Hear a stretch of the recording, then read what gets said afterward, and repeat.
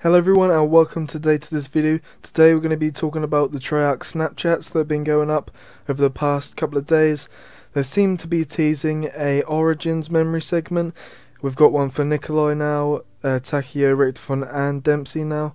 Um, so it looks like they're going to be bringing out a whole group memories trailer or some sort of information um, regarding that. So without further ado, I'll let you see the Snapchats and uh, we'll talk afterwards.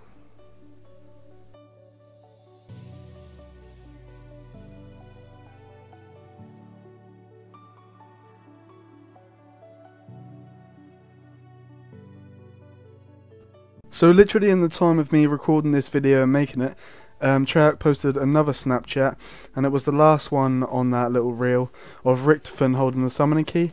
And I just want to show you guys here for a sec um, his hand. You can see he's holding the summoning key, but he's got these, I don't know if they're keeper symbols or Apothicon symbols, but he's got some sort of tattoo, tattoo marks on his hand.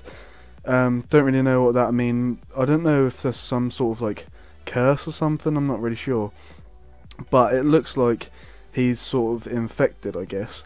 But um, or he's wrote he's written these down for some sort of reason. But um, this Origins memory segment will uh, will feature all the characters, and hopefully we find uh, something out about the blood vials, something about the summoning key and the Shadow Man and hopefully we find out why Richtofen has these uh, tattoos or uh, this writing on his hands. Um, so if you guys did enjoy the video, please drop a like rating and subscribe if you're new to the channel, and I'll see you in the next Black Ops 3 video. See you later.